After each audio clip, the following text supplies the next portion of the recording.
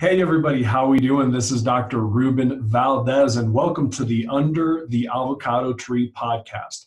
Today, you will not believe how excited I am to have my good uh, friend and colleague, Dr. Manuel Manotas. In my career, I've had the opportunity to see uh, Dr. Manuel, we've known each other for what, maybe 20 years or so? about 20 years, yeah, yeah. Off and on. Yeah. And I've had the amazing opportunity of seeing him just flourish and become this amazing, amazing clinician, this uh, human being that has such a big heart for people and really loves to love people and help people. So I feel super privileged about uh, having you on the podcast today, Dr. Manotas. Oh, thank you so much. I, I, I feel flattered by that introduction. That's, that's wonderful. Well, thank you for being here with us today. Now, um, just so that the viewers can begin and the listeners can begin to have a sense uh, of who you are, tell us a little bit about your background, your training, and some of the things that that you've done clinically.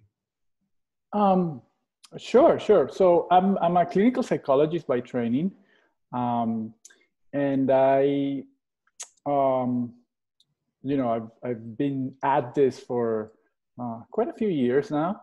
And um, yeah, I, I, I, am also, I particularly specialize in uh, somatic type therapy. I, I, I also did training in what's called somatic experiencing, which is a type of therapy that really works directly with the nervous system and it helps people uh, really connect with their bodies and use uh, the, the body information, the information that our bodies gives us about ourselves to uh, regulate the nervous system and to heal some of the uh, past wounding and psychological past wounding. You see, like, um, and, I, and don't get me wrong, talk therapy is great, and I I'm trained in it, and I use it a lot. I use a lot of cognitive behavioral therapy, psychodynamic therapy, understanding, uh, his, uh, you know, the, the, the relational dynamics of people and all of that thing but uh, without the body without including the body in psychological healing we're missing a huge piece. So i've really I, I, understood this. I understood this early on in my career and i really made an effort to through my in my own personal practice to really put a lot of emphasis in connecting with the with the body with the soma and um, ground myself feel myself in that way. And then i got some training and and, and in that which has been wonderful. And that's primarily how i work now. I really my, yeah focus on that tremendously. Yeah. That's awesome. Very cool manuel yeah. that my, uh, dr manotas that opens the door for us to uh, potentially well we've had many years of friendship yeah, yeah. yeah, yeah. Uh, but it's very exciting to me uh, to hear you open this up because it, it kind of lines up with one of the things that I want to talk to you about today, and that is uh, the ability for people to undergo transformation.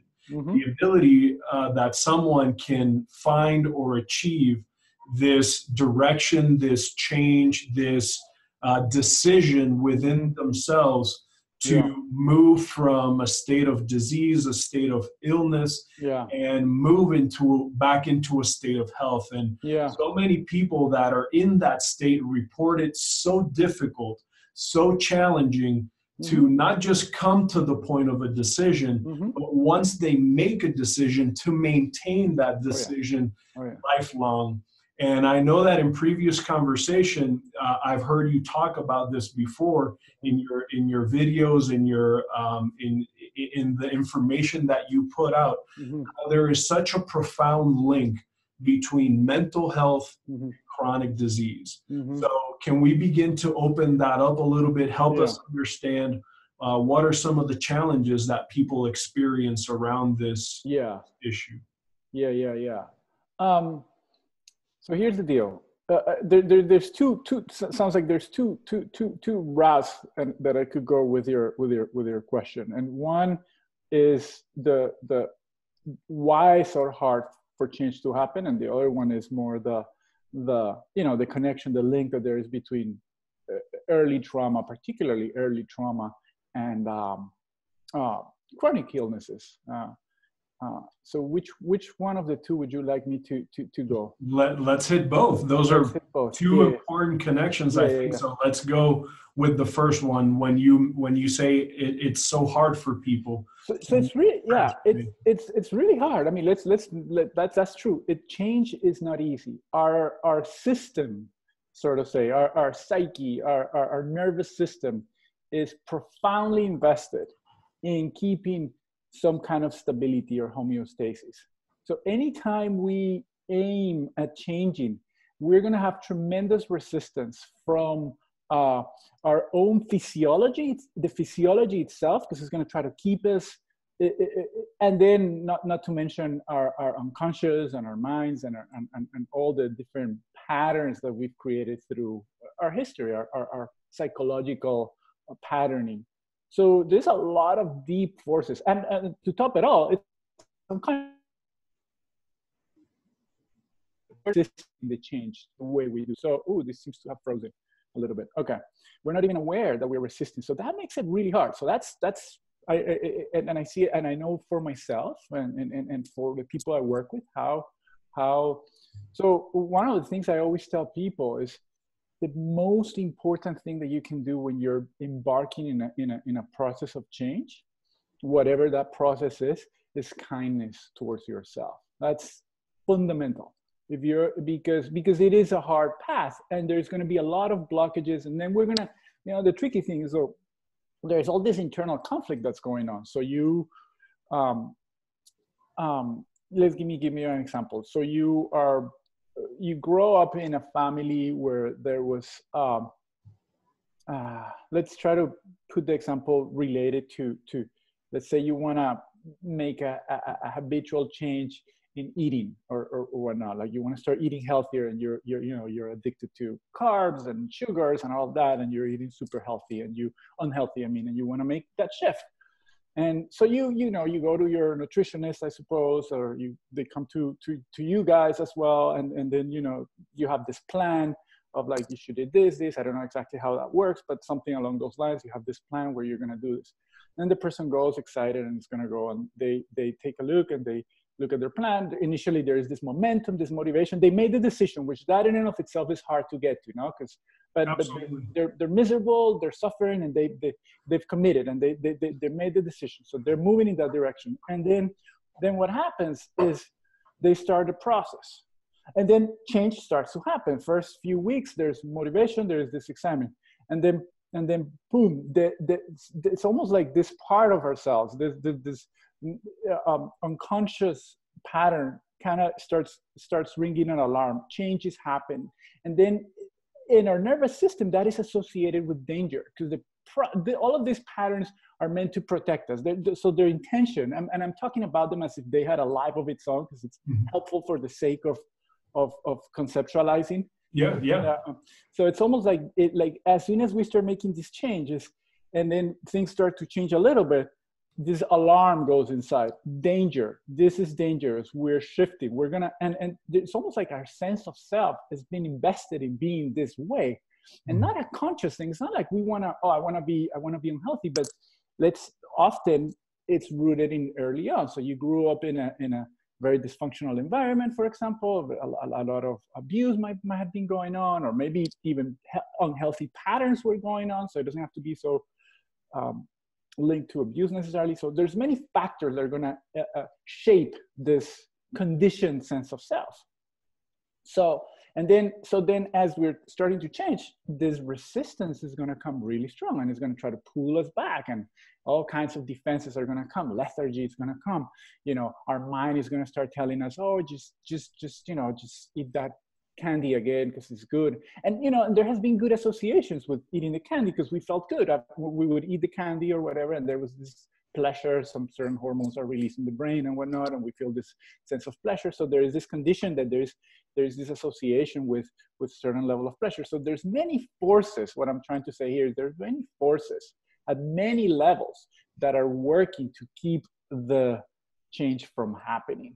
Um, and we have to um, there's a few things that are needed. One is understanding and awareness. As soon as we start making those unconscious forces conscious, becoming in touch with oh yeah and, and understanding how the patterns work in us so when i start doing this behavior this inner critic voice for example comes up and starts telling me that i shouldn't be doing that because or who am i kidding i'm never going to change because i'm a loser or whatever whatever that can be one voice or the other one could be you know like oh just just be be don't worry about it. You got this like some kind of indulgent kind of voice. You can do this. No worries. Just just take take take take, take the the cake or whatever the drug whatever thing that you want to change. Um, and then there's all this here's the other piece. There's all this emotional pain that starts to come up as a result because a lot of these things is also shielding us from emotional pain. Mm. so that's another big chunk of the thing as as as we as we start um, the, the shift starts happening and, and uh, whatever addictive kind of behavior that we've had or, or tendency in a way shielding us from feeling certain emotional pains from the past. And as soon as that shifts that emotional pain starts coming up. So then again the, uh, that's really hard to we're not we, are not conditioned to or we're, we're not used to feeling emotional pain so, A, we need a lot of support, a lot of kindness to ourselves, recognizing, and, and I don't know what you think of this part, but for me, I think this is important, is recognizing that we're going to go back and forth. That it's not going to be just a linear, we're only changing, changing in positive ways. There is going to be, uh, our condition is going to get to us. And mm-hmm. that's okay. Can we be kind to ourselves when we quote unquote relapse?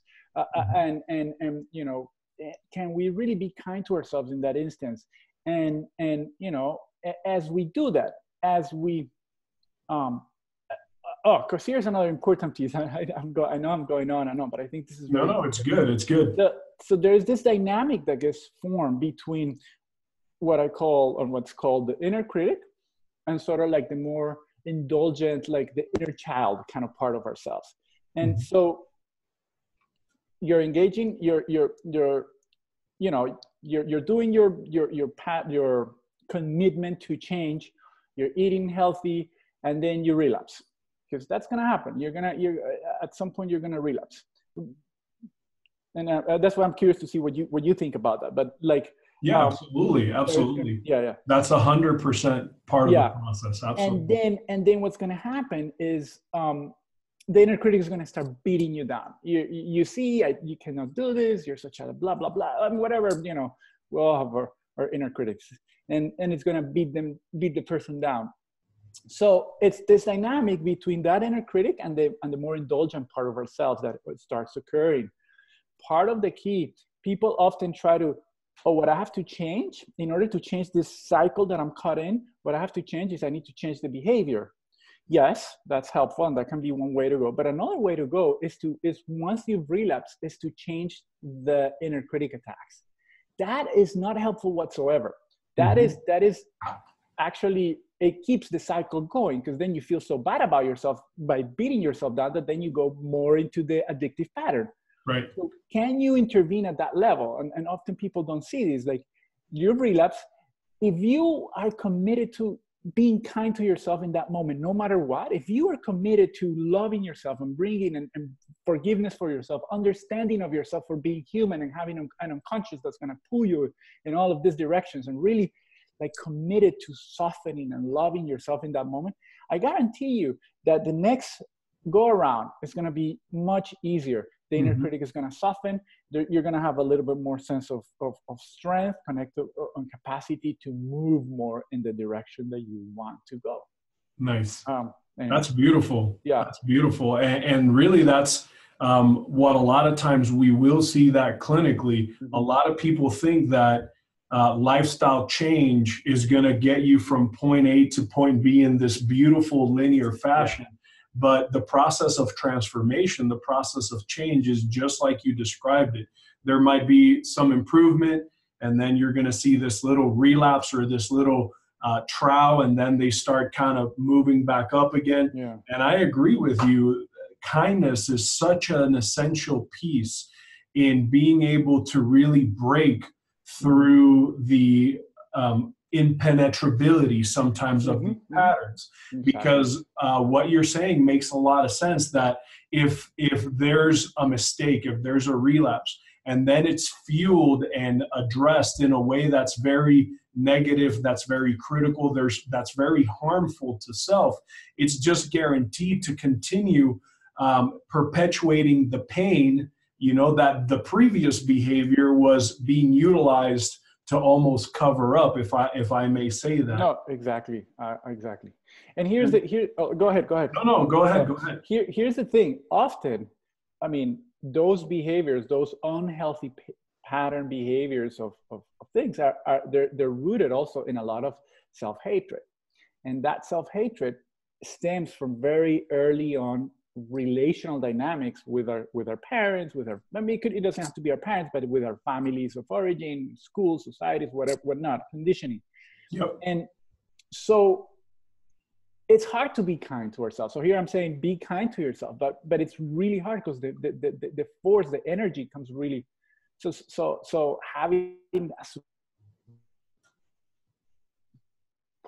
having a, a, a therapist to help you I think you need a team of people here. I mean, we need we, we there's not only one approach. I think we need we need a multi um, facet. We need to focus on the on the behaviors. We need to focus on the on the on the you know whatever different experts in like the diet plans and all of that, and we need to have uh, emotional psychological support there.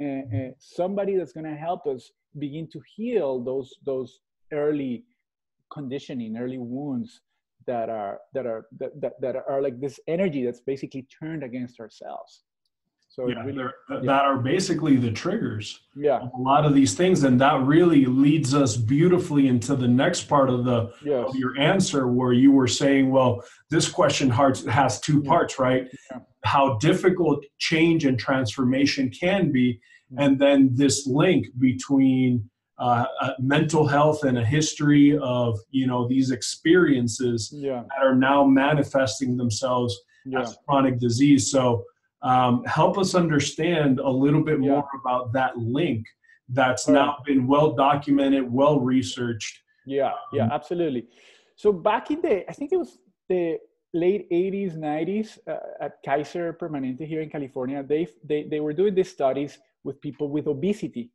I don't know exactly. I don't remember exactly what the what the what the thing was exactly, but they started seeing that there were certain people that that they were they started recognizing that uh, you know there was a lot of people that would relapse in in in in their plans and all of this, and they started studying the their histories, their early early histories, and then they start they found this connection between um, early trauma, what what's called adverse childhood experiences, the the uh, adverse childhood, yeah, uh, the A studies, mm-hmm. adverse childhood experience, and they started recognizing, you know, and and by adverse by adverse childhood experiences, it means abuse, means neglect, uh, emotional abuse, physical abuse, all kinds of, of, of and and they have they have they actually there is a there's a um, test online that you can actually do and see where you score in the in the ACE because uh, it really like the more trauma and uh, uh, adverse childhood experiences you had the more that you're going to be uh, most likely engaged in uh, behaviors that are that are self-destructive and hence and then so here's the other piece of that. So then as you grow up you're little you have a nervous system that has a really nice baseline of, of, of, of, of relaxation and peace which is where we're supposed to be at our baseline. We're not supposed to be stressed, only little spikes of stress when, when it's needed for action or whatnot.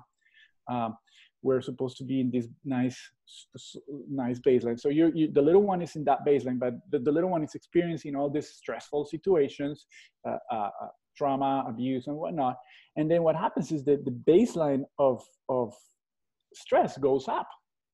So then the brain starts releasing all those hormones that are great for for for action and for you know cortisol and you probably know this much better than i do uh, uh, all of those hormones that and then in that are not meant to be to be experienced in a continuous basis. But if you're experiencing that in a continuous basis i mean it's going to start messing with all of our organs. I mean our um, and i don't want to uh, yeah i know it's going to start messing with all of our organs there. And and so there is a link, and again, this is a correlation, so you cannot uh, make it as, as a causation, but there's a very strong correlation between the ACE, the adverse childhood experiences, and you know chronic diseases such as heart disease, diabetes, obesity, uh, addictions, huge addictions, depression, um, anxiety, mm-hmm. and whatnot. So yeah, it's I mean it's the, the, the connection between early trauma and later on um,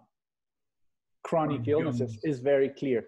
And, and clinically, I, I see this in my, in my patients. Uh, uh, you know, I, I, I, specialize in trauma, so I work uh, a lot with people who have early uh, trauma. And it's, it's very, I, I often see, and again, this is my clinical observation, is there's a lot of people that have a lot of physical conditions. When uh, uh, like those chronic type physical conditions there's also a, a connection between uh, um, you know digestive type, type disorders and uh, uh, um, uh, what's it called? What do, what do they call this diagnosis that they you know how they give diagnosis to, to, to certain conditions that they don't know what it is?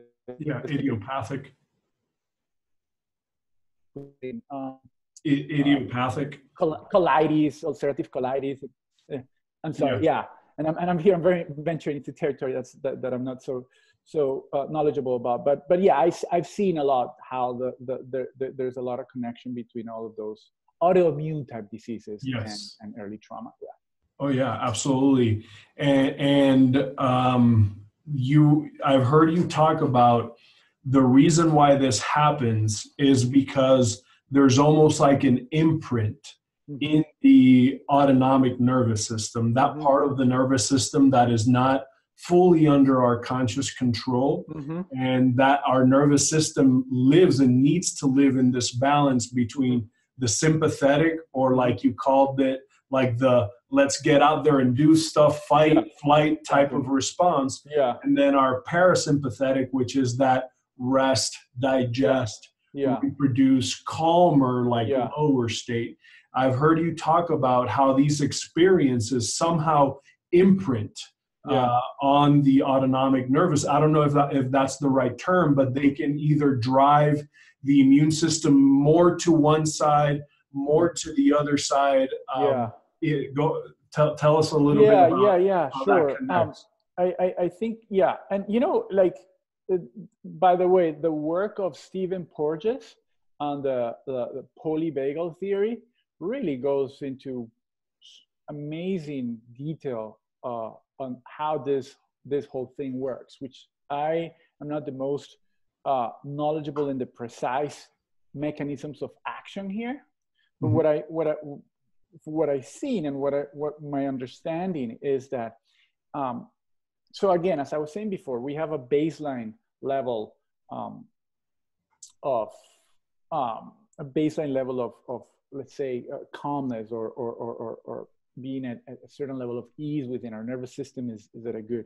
This is what's called the window of tolerance. So we all have a window of, uh, of affective tolerance now. So where an unhealthy uh, functioning nervous system is going to go in these curves of ups and downs within that window of tolerance, very smooth, kind of like. And throughout our day, if you notice your day, you know, you gotta do something, and there's energy is going to come in. Sympathetic arousal kicks in, and then and then you go up but but it's stable and then you know and then your action is done and then you go into rest and digest and and parasympathetic kicks in and there's there's two according to porges there's two um, and this is not um, anyway there's two uh, branches of the parasympathetic when you go down so there is what's called the um, the more um, um the more um, what, what um, classic uh, parasympathetic, which is for resting and digesting, and you go into a, a, very lower. And then there is another side of the parasympathetic that Porges calls uh, the social engagement, which is also a calm, uh, uh, relaxed, but there is a, it's it's not it it it doesn't it, it has a little bit more energy to it, and you can actually um, connect with others uh, engage, be engaged, but in a restful, relaxed state, which is, and you need both, you need both um, branches. but where I was going, where I was saying before is, so you have the, you have your, your, your, your fine kind of wavy thing if you have a relatively minor trauma, and that's, I don't know where that occurs, especially. Nowadays, mm-hmm. but uh, especially nowadays. yeah, but you know, trauma is a human thing. There's, there's no way around it.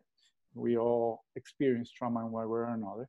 But let's say, you know, good enough, you're, you're in that stable. But if you have, you have a lot of trauma, what's going to happen is depending on, on the on the type of trauma and all of that, you're gonna you're gonna have a tendency to stay stuck on one of the upper or or lower, or you can be, be stuck. So so instead of having this smooth curve of you know, your daily life of ups and downs, you get something that triggers you. You're gonna go up, and you're gonna stay in this up state above your window of tolerance, very charged. You can see that in very anxious people.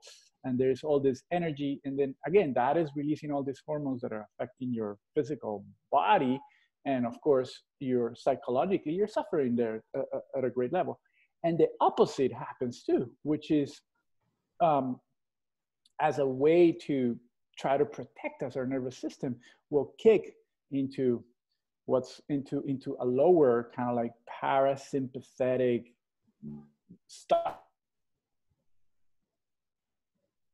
people with depression a lot of people with obesity and like there's this like a heaviness that comes in that kicks in and and it leaves us in this state of you know it's hard to take action. It's hard to to, to move forward. It's hard to to be engaged. So we don't we don't get that uh, uh, uh, sympathetic activation that's needed for for for action in the world so we stay stuck under that that level of of tolerance. And some people will go between the two. There's it's really it's like the, the there will be up here and then something will happen and they'll go they, will skip almost their, their, their, where they're supposed to be and they go down to to collapse. So mm-hmm. they go between really high activation and then down into collapse. Sounds like certain diagnoses out there that's very very very common very days. frequent yeah yeah yeah yes. yeah so um, obviously, we see a lot of this, uh, Dr. Manotas, clinically mm-hmm. in patients that are either whose whose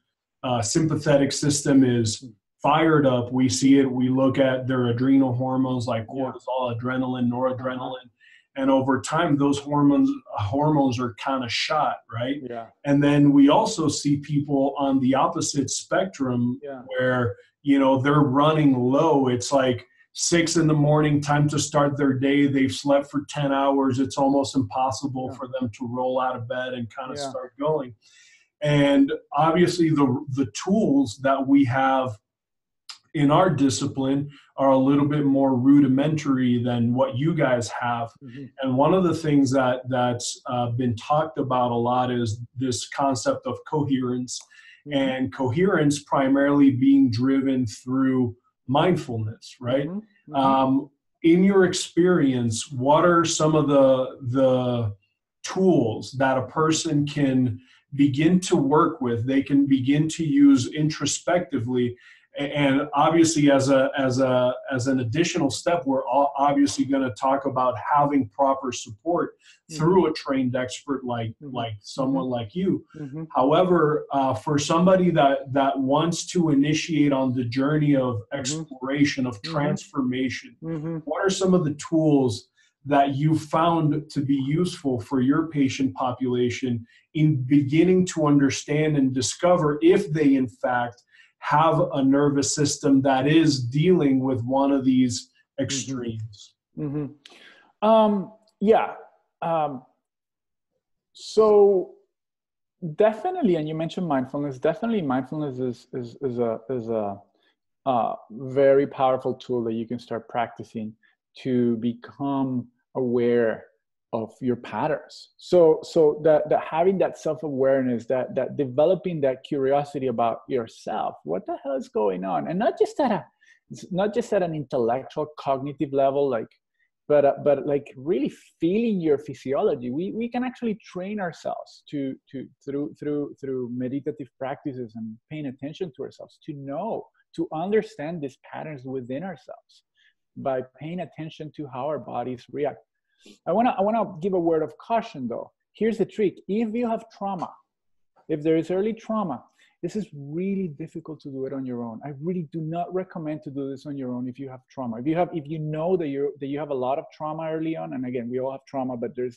it's like a continuum. If you're aware and, and you know that there, we need help. It's it's very difficult to do this on your own, and it can actually be detrimental to go at it on your own to try to like practice go into meditation if you have a lot of trauma without any without proper support. Meditation can be a powerful tool to help you understand your uh, your patterns to know your body to know how you're how you're functioning really have this uh, awareness. We develop this capacity to be aware of ourselves without being caught up in the in the dynamics that are going on which is a powerful tool for knowing ourselves knowing how we're functioning how our bodies are functioning and uh, but we can get caught up in all kinds of spins and circles if we don't have proper support if there is a lot of trauma. So that's that. So mindfulness uh, practices that um, you know to support our and again this is very individual. So it's tricky to give general practices because because depending on each person's history and each person's symptoms and dynamics is very individual. So it's hard to give. But as a general rule, practices that involve body awareness and movement, for example, things like yoga can be very helpful. Things like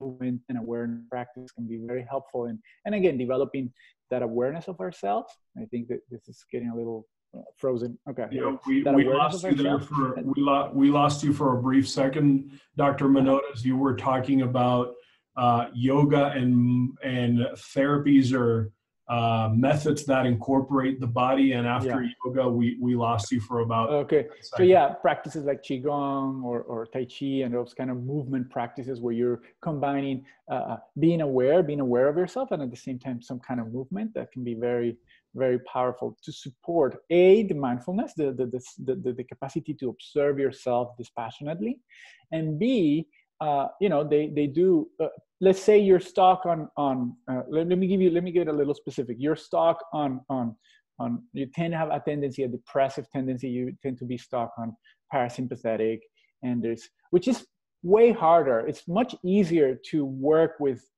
anxiety and high activation and and and bring that down than to than to bring than to jumpstart energy when there is low. It's much harder to do that. Um, mm it's a it's a much thicker defense I, I would say like um, but anyway let's say you're that That's so amazing. That's so definitely cool. definitely um, uh, movement practices are going to be helpful there. Now again you're going to resist the movement practices because you don't want to move. So it's such a it's a catch 22 there no?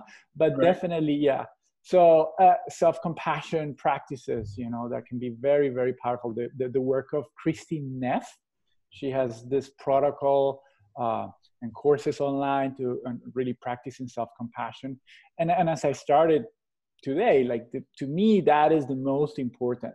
If there if the, if you don't start by practicing some kind of self-acceptance as to where you are right now in this particular moment and you're trying to make these changes out of a self-hatred it's going to be very difficult to get it because mm-hmm. you're, you're, you're, you're hating yourself and you're so focused on trying to change, get there somewhere. Whereas when you start softening that self-hatred, when you start uh, um, really, um, you know, massaging that self-hatred, bringing, bringing kindness, bringing softness, bringing, and again, support, very important in all these things. You know, being kind to yourself, being forgiving to yourself, start changing the, the, the, the negative self-talk start start bringing in some some positive self-talk and and and some body awareness. And you start doing that then then then the change becomes much more easy to to make and for it to happen. It's almost like an, another way of I, I like to conceptualize this is, is our our our nervous system uh, uh, uh, I mean, are intrinsically, we want to move towards health. They're, they're, they're, like naturally our, our, our bodies want to go towards health but there's all these blockages as a consequence of trauma that have been there. So mm-hmm. part of the work is softening those blockages. We can't just get rid of them. We can't just dynamite them away. You have to actually you have to actually work gently with this. And little by little and this is the beauty of the type of therapy that i do somatic experiencing that it goes at it very little by little. You peel layer by layer. And then by doing that, gently softening, softening, little by little, it, it, it starts it starts moving towards more health and you start getting more a little bit more comfortable within the window of tolerance. You start getting you start conditioning your system to be comfortable in goodness, which is interesting. We we yeah uh, when there is when we're you know in, in chronic patterns of self-destructiveness and even in physical conditions and things like that there is a our sense of self is grounded. It, it has has has been grounded. And, and i'm going to go esoteric here a little bit but bear with me. It's grounded on on uh, you know like this uh, quote unquote negativity this this struggle this pain. Mm-hmm. and it's almost like we identify ourselves unconsciously. This is going on unconsciously. We identify ourselves with this pain. Where I, I used to have a um, teacher of mine or what would i call it? Therapist of mine teacher of mine who call it we're, we're miserably comfortable. Uh, that's amazing. Yeah. Yeah and, it's, it's uh, almost like the state of strife yeah. becomes an identity. Exactly. Yeah. So so as as we start as we start healing little by little we start getting our, our sense of, of of self our identity starts shifting into a more coherent uh, uh, uh um, into a more goodness We start relating ourselves to, to more goodness. Here's here's the piece that i was that, that is tricky. We are not our conditioning or not tricky but the, the esoteric part that i said we are not our conditioning. We are not our sense of self we're much more than that. And I'll leave it at that. It's, okay. it's we're, we're, we're way more than our, than our, than who we think we are. Uh, and, and connecting with that can be, can be also a great support. Connecting, starting to connect with, with, with our identity that's beyond the conditions. It can be very, very powerful. So as you open this up, uh, Dr. Manotas, um, mm-hmm. there's more and more questions that come up for me Yes. Um, and I'm sure that the people that will listen to it will have more questions. Yeah. They listen yeah. to it. So if it's okay with you, I'll I, I'd like to ask you yeah. first. Um, you say that we are so much more than this sense or this idea of identity than our yeah. conditioning, that yeah. our limiting beliefs, if I may call it that. Yeah, yeah. Uh, I'm I'm sure that there's going to be people sitting out there thinking, well, then what are we? If we are not these ideas, if we're not these beliefs, then yeah, I yeah, yeah. Hey, what are we really? Uh, and do we have to go into topics there that can be challenging for people when when asking themselves that question? Let me let me think about how to respond to that question right now, because I I I I think I don't want to go too deep here. Um, but I'll say I'll say this: as we're when we're born, we don't have an identity, and yet we still exist. There's still a being there that hasn't been shaped by conditioning, by history, and then as as as we as we as we evolve and you know interactions with our parents and our culture and our society, we start creating this I, all the with our, our personalities starts getting shaped, our separate sense of self gets developed, which is a part of regular uh, uh, psychological development, and then we then I am I am I, I, I become or this person I am Manuel who was born in Colombia and have had these parents and all of this, and then we we hold on to that as if that's who we are, whereas that's just the the suit we could say that is just the external kind of like shaping of our being. And again I'm, I'm, i do not want to get too esoteric here but um, so connecting where, where, where i'm going where this could be supportive is connecting with ourselves that is not the condition that is not our history. Connecting making having access by the way mindfulness and meditation practices are originally meant for that.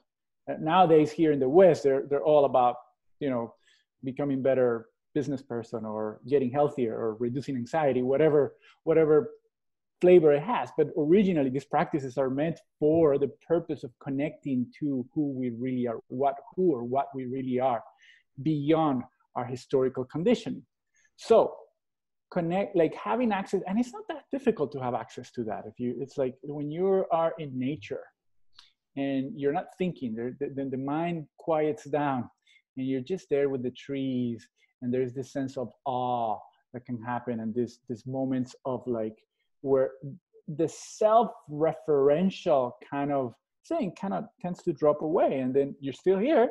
There's still a person there that's experience that's having an experience but that kind of like unconscious identification with your history with I'm, I'm, I'm, I'm, I'm Colombian, I'm, I'm, I'm this and that kind of drops away that it's irrelevant and there's still this being. So, so that, that that's all I'm going to say. I'm not going to go into what that being is because that's still an ongoing exploration for me.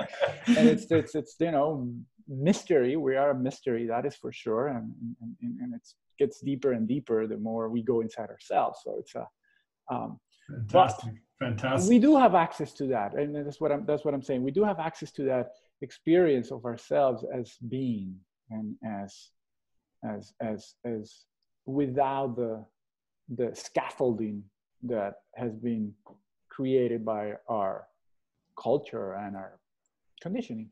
Yeah. So um, let me ask you to piggyback off of that idea. You were talking earlier about this uh, gradual, gentle process of removing layers, right? Of one layer, one at a time. And I'm assuming that as I the, lost you there for a moment, so I, I couldn't I couldn't hear what you were asking. Oh, my apologies. So you were talking earlier about removing layers um, yes. um, and gently removing layers through the type of work that you do. Yeah. And hopefully this isn't a wrong assumption, but I'm uh-huh. assuming that at the end of those layers, what you begin to discover is that true who and what we are. And it's always been my impression and my understanding that when people can genuinely, sincerely connect with that reality, um, a lot of their own limitations as to transformation begin to fall away. There's a freedom there. There's a there's like a um, an experience of chains breaking away because I'm not a I'm not a something that's limited by what's been, but I'm actually free by who and what I am. So would that be maybe um, uh, uh beautifully said? I, I, I would agree with that 100%. Absolutely, yeah. I, okay. I, I, and that's why I think this connecting with that. I mean, with spirituality, that that that that deeper sense of ourselves can be a very powerful support with this when we're trying to make lifestyle changes and changes in our lives that are practical that are that are, that are about about taking care of our bodies and, and having a more healthy life and, and a more uh, uh, you know fulfilling life and, and, and, all of that. So connecting with that is very very very powerful support. And you know and people you don't have to go into a monastery meditating for all your life. There's a lot of tools available nowadays. It's beautiful how like the, the i mean the internet has many terrible things but it also has many wonderful things and and and and uh it's it's amazing you can take courses online nowadays there's there's it, that information is so widely available nowadays and it can be such a great support now let me clarify make a little bit of a clarification about yeah, yeah, when I was talking about the somatic experiencing and the and that we go little by little, layer by layer. Yeah. I I yes, I do believe that that can take us there. I do at, some at what you were saying. I agree 100. percent But I also was referring to instead of like certain therapies historically have been all about like you have you have emotional wounds and trauma wounds you're just gonna go dive in there and you're just gonna you know have this big cathartic explosions and feel your emotions deeply and like that's gonna bring some healing and there's there's a place for that i agree i i i, I, I use it sparingly and and i think it can be helpful to to to to, to bring a little bit of more potent activation but i but in, in my practice i've realized that the the healing happens better when it's little by little because it gives you an ability to integrate. So you can have these huge experiences, huge transformative experience that open up. You, you knocked out a bunch of defenses. You go into this breath work, holotropic breath work, and do, and it's powerful stuff. So I'm not, I'm not, I'm not saying that that's not a good thing. It's actually it's actually powerful stuff, but it has its place and it, and it has to be used in a, in a in a very conscious way and open up things. But then what happens is afterwards, your system is totally in a very far away place to from where you were and that just creates it's really hard to integrate it to understand what the hell happened and then what happens is the movement to homeostasis is going to pull you very fast back mm. to where you were before. Yeah. And yep. so so so true change doesn't quite happen as much eh, eh, eh, as opposed and it doesn't have to be either or. You could be in doing doing both. There's value for intense things at times. But what I've seen is when you when you when you go layer by layer, little by little, you titrate. What's called Peter Levine, the founder of somatic experience, has this term called titration, which is a uh, um, concept from chemistry. You know, you're gonna mix two possible uh, uh, explosive elements, uh, uh, two two liquids that are that that have a very strong reaction. If you were to pour one on the thing, it's gonna have a it's going to create a, a, huge explosion. But if you get a dropper and you start putting a little drop by drop, and then it just fizzles and fizzles, and then eventually you mix them and you have something completely new. Yeah. So I that's wonderful. I believe that change and transformation. Yes, there is a good place for big things, and I've seen big things happening and people changing dramatically in a in, in a big thing. Uh, oftentimes, those people have been doing a lot of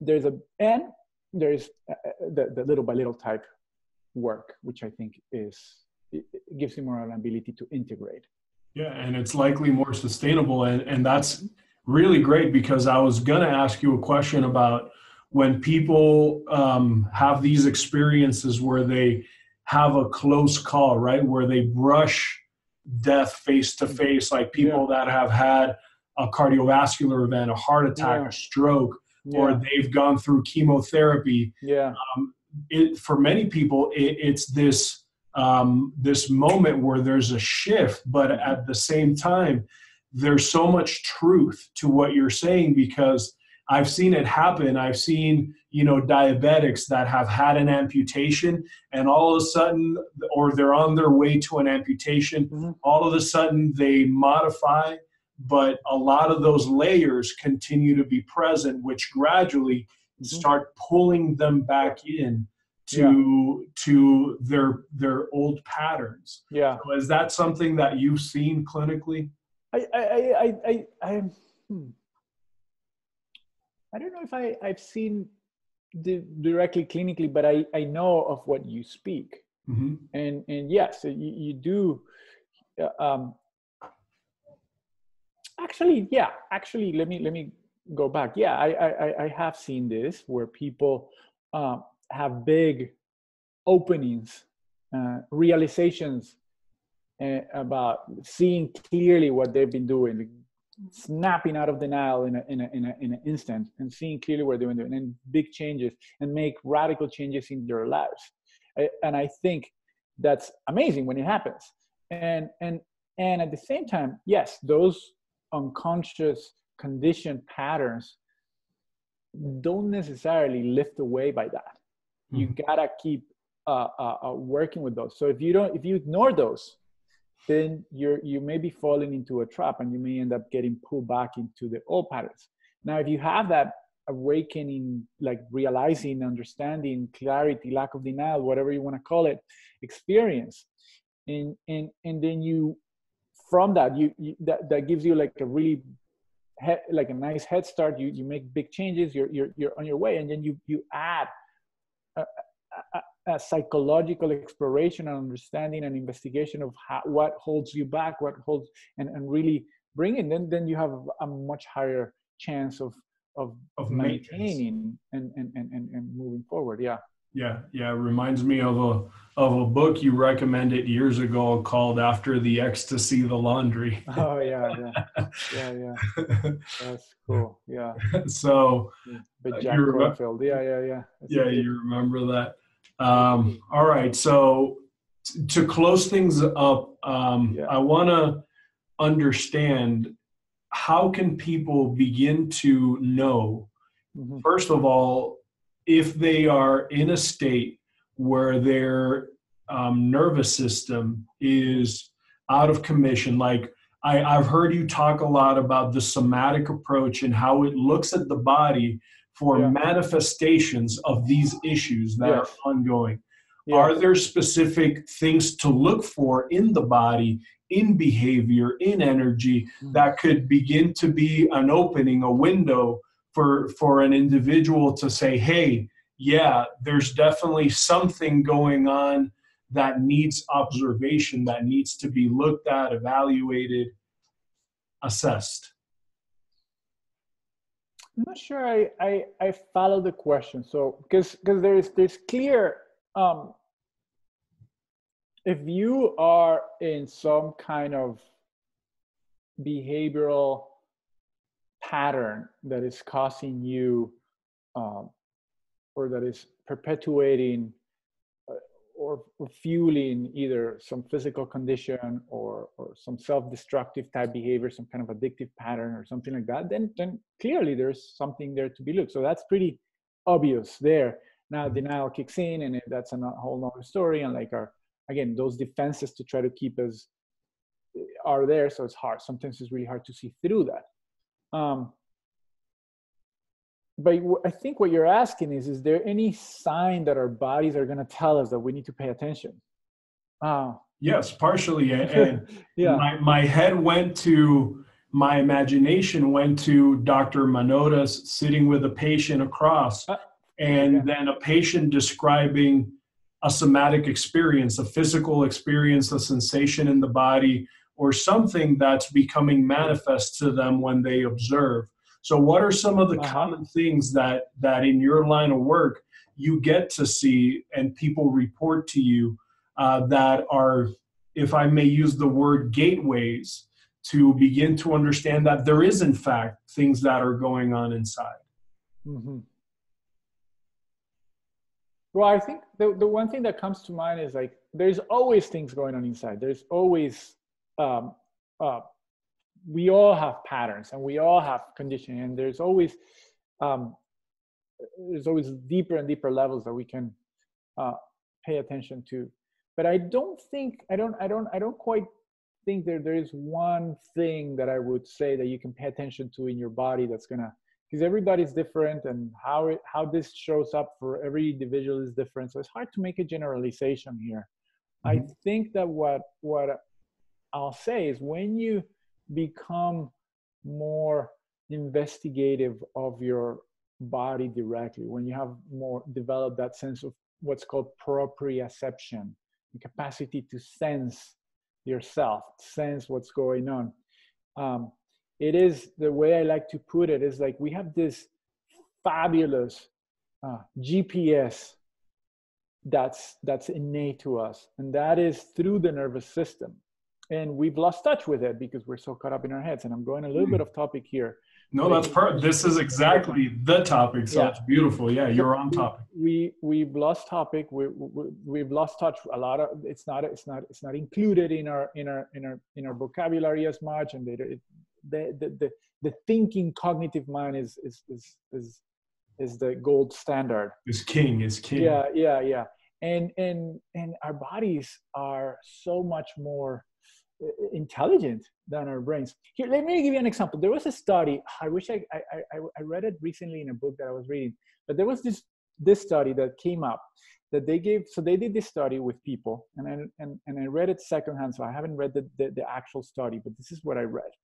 There is a they they gave a group of people two decks of cards, and the two decks of cards, one card. So it was like some kind of betting thing depend one card would make one deck of card would make them lose money and the other deck of card would make them win money. But they didn't know which deck of card made them lose money and which and it was very subtle. It was a very subtle distinction between the two decks. So they look apparently they look very close. They, they would pull a card and according i don't know exactly what the mechanics were depending on the card they either lose money or win money. And according to the research about after 50 trials people started to get a sense whoa something's going on here and then uh, between 50 and 80 trials, they actually got it. Oh, with this deck of cards gives me money, this deck of, but guess what? They connected people to the body, to the, you know, they, they, skin conduction, heart rate variability, they, they, you know, whatever mechanisms they did to connect it to electrocardiograms. I don't know what they did exactly, but they connected people to the to how the physiology was responding. Guess yep. what? The physiology had a reaction after 10 tries. Wow. So the body knew before the, the mind knew which deck of cards was the one that was making them win money or lose money. That is huge. I mean, the, huge. The, and and so our bodies are this amazing wealth of information, and and and as I said, a GPS that will help us navigate. And when we're in touch with them, we're able to recognize our little reactions, our little things. So, and for healing, you know, if there is a lot of trauma, there is a lot of we need to start. And again, this is where the titration comes in and the and the, and the support coming because if there is a lot of trauma we start trying to get really in touch with you can go to some of those that those types of, of, of, of, practices that are all about sensing yourself mm-hmm. they can actually be very re-traumatizing if there is a lot of trauma so you have to do it with carefulness and, and the support yeah. that's fantastic and uh, I think you hit it right on the nail. That first of all, that study is amazing. I'm yeah. blown away. I hadn't heard about that, and it's just incredible to hear how how quick the body is to identify and to learn. And I see this clinically, and I'm sure you've seen this too. How so many times um, something like health or even mental health is almost last on the list so frequently in a person's life. They're so caught up, right, at this level, at this surface level of uh, life and bills and relationships and, you know, identity and what I have and what I don't have and, you know, paying oh, bills goodness, and yeah. all of it is operating at yeah. this at this level. Yes. But but there's such a profound disconnection at times unless we stop and really open up you know some space some time some communication some with kindness with safety with security that people can actually break through that layer yeah. and begin to observe what's what's going on inside and i see it clinically people mm-hmm. that urgently and dramatically need to put their health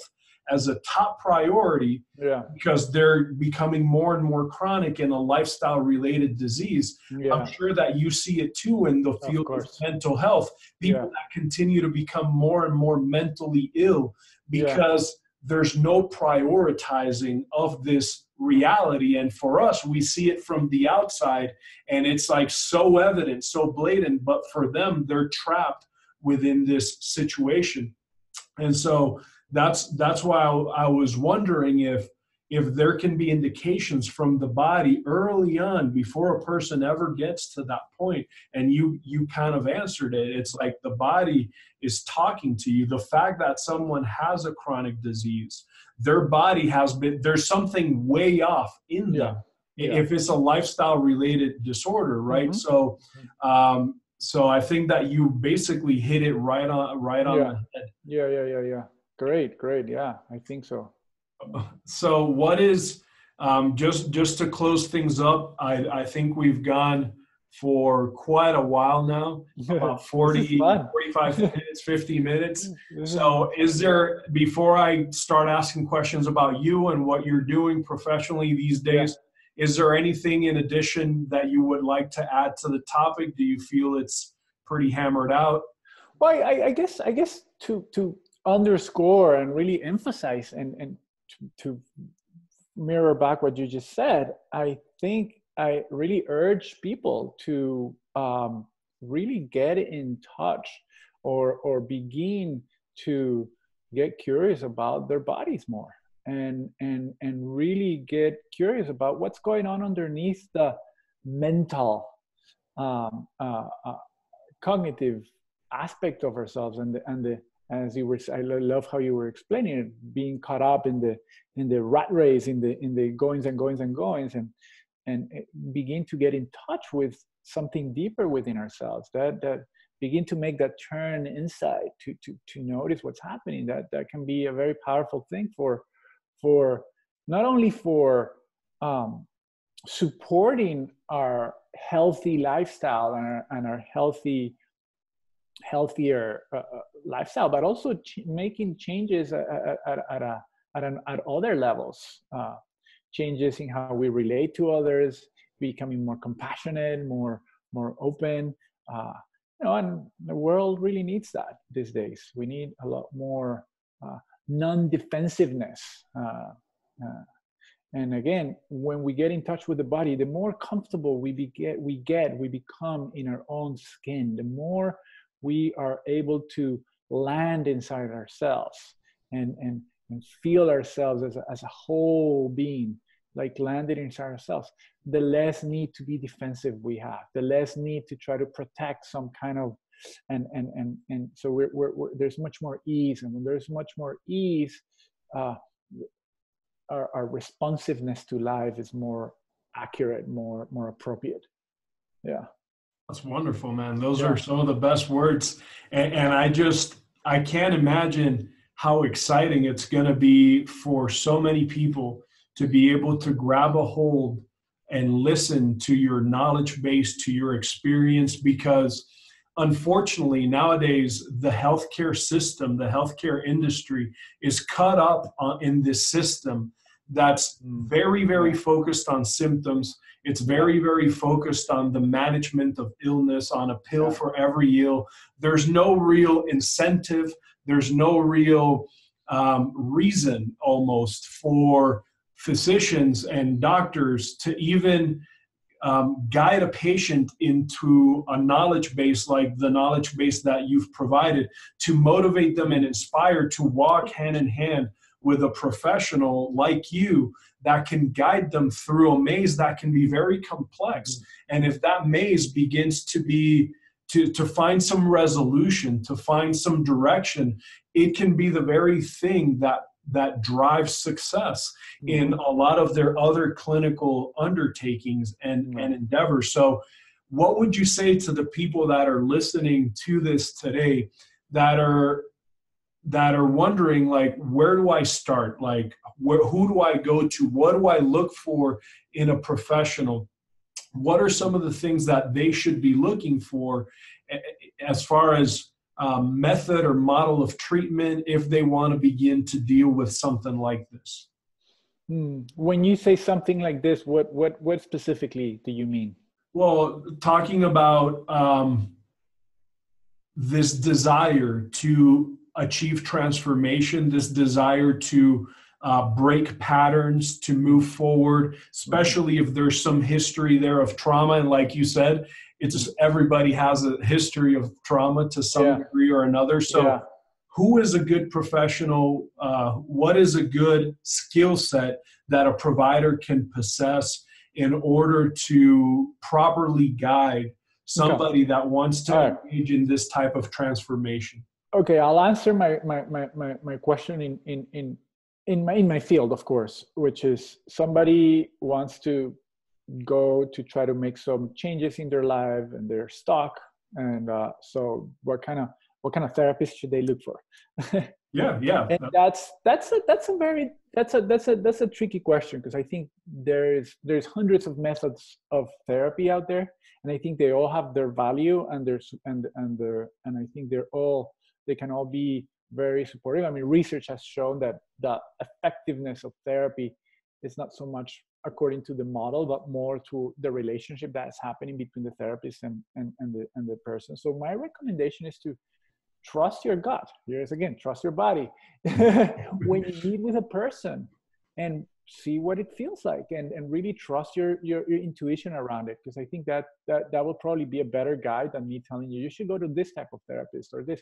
I, I here, here's one thing that I will, will uh, say, and I said it before a therapy that does not include the body i don't think is complete i think you need you need you need a comprehensive you need you, you need to look at the mind of course you need to understand our cognitive biases and our and our and our and you know our negative thinking and you need to observe the mental for sure. You need to look at, you need to look at history as well.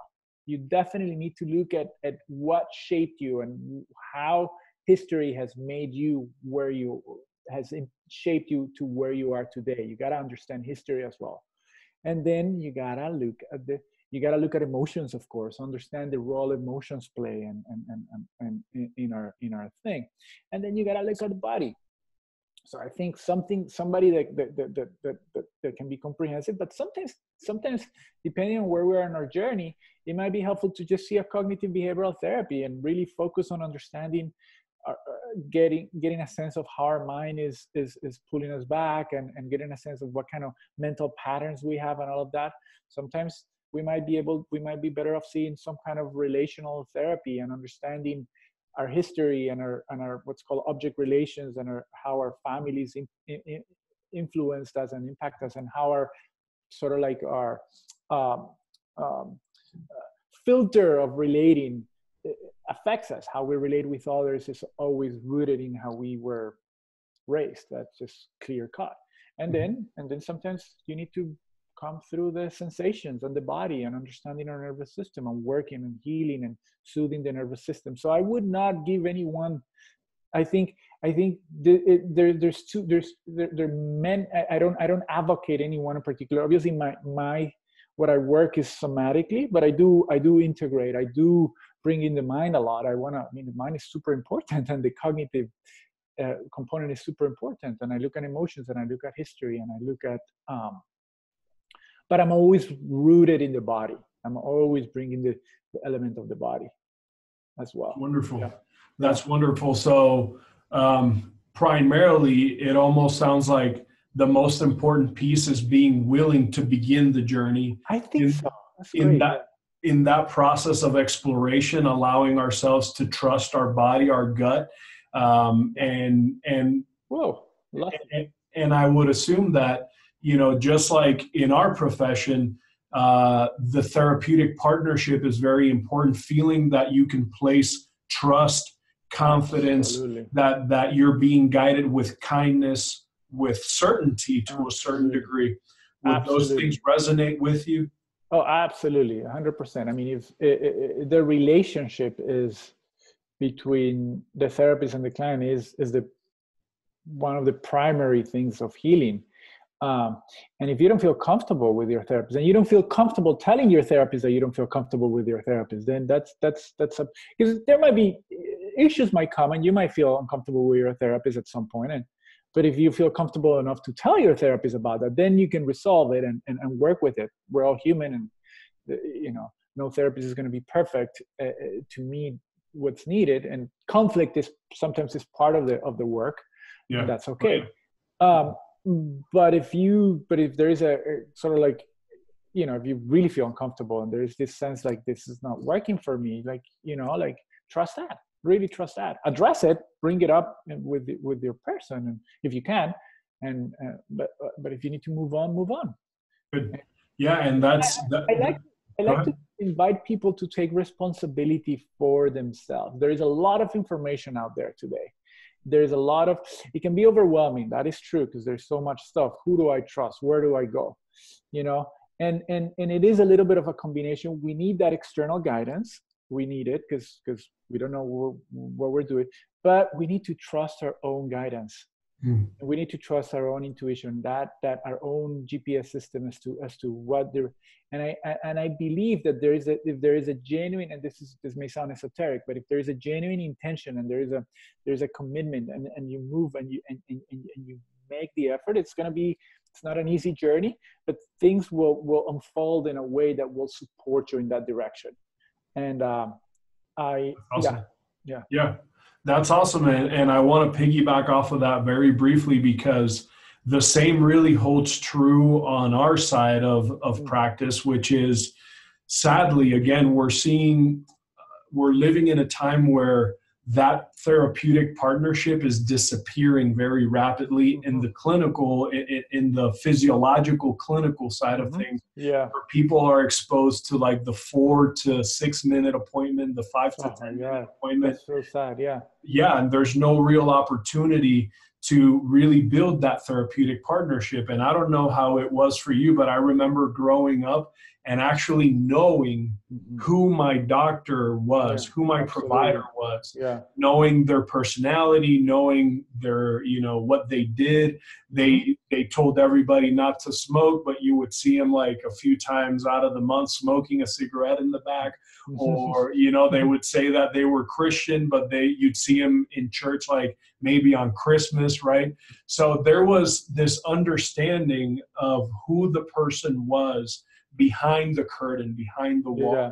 And that, and like you said, that partnership is probably one of the things that can create the most success for a patient on any um, endeavor when they're trying to improve their health. So I think that that hitting on that point, that's really um, masterful of you because I, I, really do believe that the therapeutic partnership is one of the biggest keys to success. Absolutely, absolutely.